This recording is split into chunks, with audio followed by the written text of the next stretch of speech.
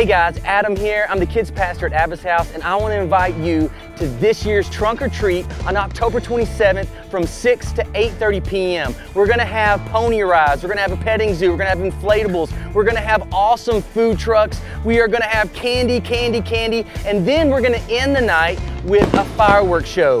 Fuse Fireworks from Clarksville, Tennessee will be here again this year to amaze us with their incredible fireworks. So join us on October 27th from 6 to 8.30 p.m. where we are going to turn this normal looking parking lot into something epic. We'll see you then.